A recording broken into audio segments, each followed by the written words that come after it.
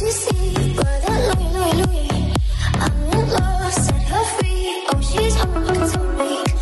les potes, tout le monde, c'est Tisma, j'espère que vous allez bien. On se retrouve aujourd'hui pour une nouvelle vidéo. Ça faisait deux semaines qu'on n'en avait pas fait parce que c'était Noël, j'avais pas trop le temps.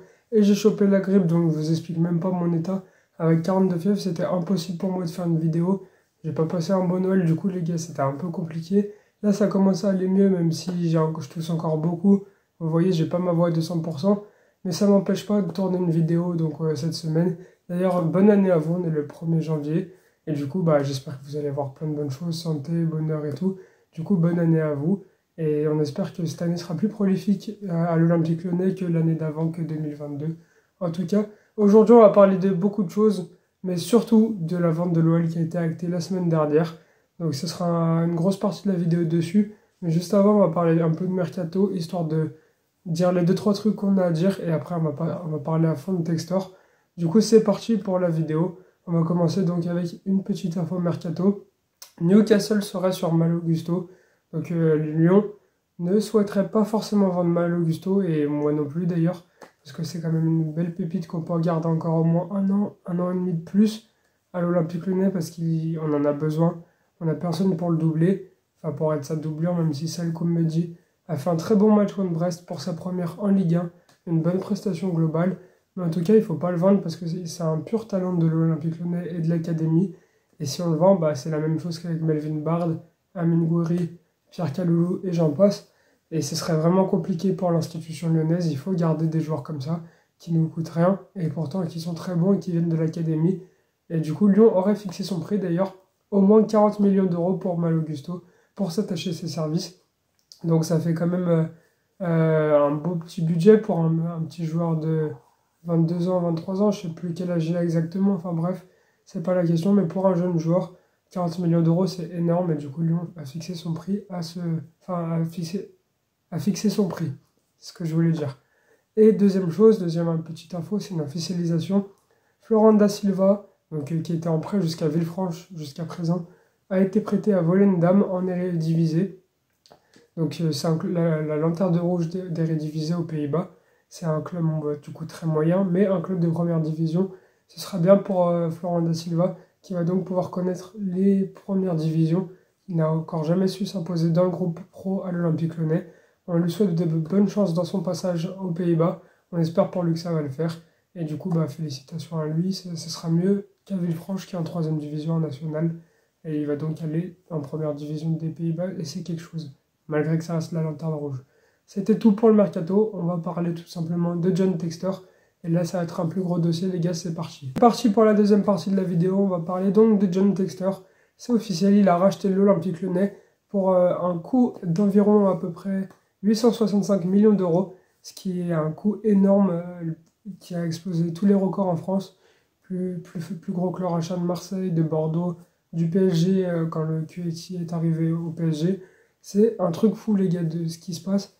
Euh, on ne se rend pas compte tout de suite, mais je pense qu'au fur et à mesure des années, on va se rendre compte que John Textor a racheté l'Olympique Lyonnais pour une somme incroyable de 865 millions d'euros. Et il devrait directement injecter 107 millions d'euros dans les équipes premières de, de, l'Olympique Lyonnais, féminines et masculines, dont 57 millions d'euros directement injectés dans le mercato lyonnais. Donc euh, on verra ce que ça donne le mercato hivernal.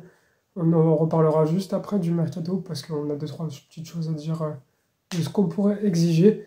Et du coup, bah, ça représente à peu près 80% de l'Olympique Lyonnais, c'est 865 millions d'euros. Je sais plus combien d'euros la part, mais en tout cas, c'est assez cher. Et du coup, bah, il va être propriétaire d'environ 80% de l'Olympique Lyonnais. Il remplace donc AT et IDG Capital qui s'en vont. Donc leurs dirigeants s'en vont du conseil d'administration. Euh, qu'est-ce que je voulais dire? C'est que Tony Parker s'en va du conseil d'administration. C'est ce qu'il fallait noter. Et que le président de Botafogo, lui, va rentrer dans le, dans le conseil d'administration de l'Olympique Lyonnais. Donc euh, c'est quelque chose de assez fort quand même. Celui qu'on pensait être le futur président de l'Olympique Lyonnais, donc Tony Parker s'en va du conseil d'administration, il fait toujours partie de L Group, en étant président de l'Asvel qui fait partie de L Group, du coup les gars.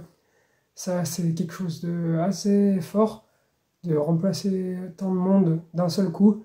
C'est, j'ai pas trop les mots, c'est un nouveau chapitre qui s'ouvre pour l'Olympique Lyonnais. On espère que ça va être que bénéfique mais en tout cas, on rentre dans, un, dans une autre galaxie. Et Monsieur Textor a intérêt de faire du bon boulot. Fernando Marsal, qui a signé à Botafogo, l'ancien joueur de l'Olympique Lyonnais, a dit que John Textor, comme il le connaissait un petit peu, Marsal, et il a dit qu'il pourrait tenter de ramener Juninho, ça lui ressemblerait. Pourquoi pas? Moi, je dirais pas non, même si pas sûr que Juninho voudrait rentrer à revenir à l'Olympique Lyonnais tant que Ponceau et Chirou seront là parce qu'ils sont, euh, ils s'entendent pas, sachant que Ponceau et Chirou sont vraiment incompétents.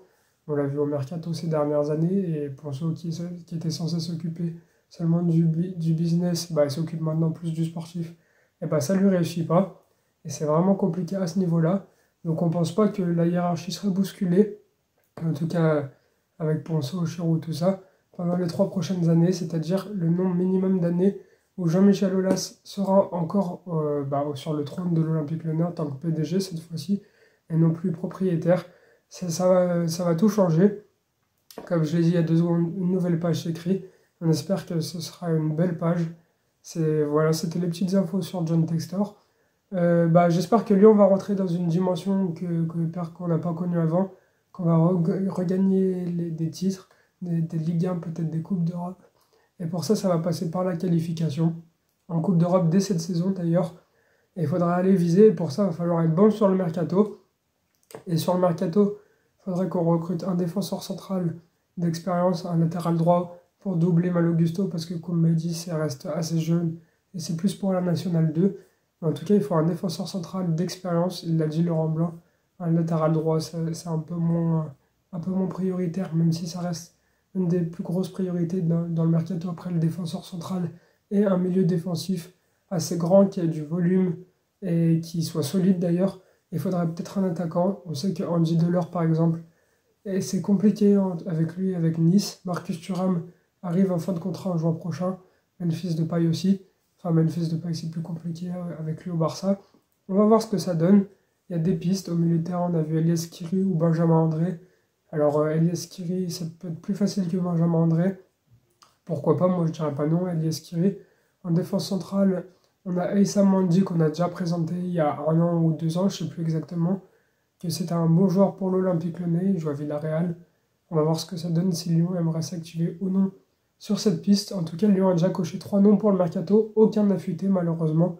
Je vous tiendrai au courant dès que ça fuite dans une euh, prochaine vidéo du coup, voilà pour euh, mes petits points mercato sur là où il faut qu'on recrute. Un défenseur central, un latéral droit, un milieu défensif et peut-être un attaquant pour euh, pallier le départ de Moussa Dembélé euh, en juin prochain, à la fin de son contrat. Ce qu'il faudrait vendre, bah, c'est Boateng qui ne veut pas partir, mais nous, il faut qu'on le vende.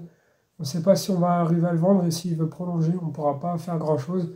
Damien Da Silva, pareil, il ne fait pas grand-chose. Il a fait un match correct contre Brest en tant que latéral malgré qu'on n'ait personne sur le côté. Ça, a été compliqué, mais bon, il a fait ce qu'il a pu, mais pas, même si sur la vitesse ça a été dur, surtout là que je voulais dire. Il a joué à son poste avec expérience, c'est ce qu'on ce ne peut pas lui reprocher. Ensuite, au milieu de terrain, c'est Oussem Aouar.